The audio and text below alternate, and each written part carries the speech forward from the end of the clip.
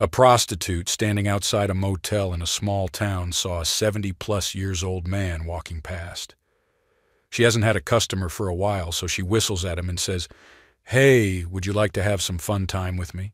The old man said, But I won't be able to. Come on, man, give it a try, interrupted the prostitute. Old man says, Okay. They go in. The old man whips out his eight incher and bangs the daylights out of her for 30 minutes. When he's done, the prostitute, all exhausted and tired, says, But you said you won't be able to. Pay you, replied the old man.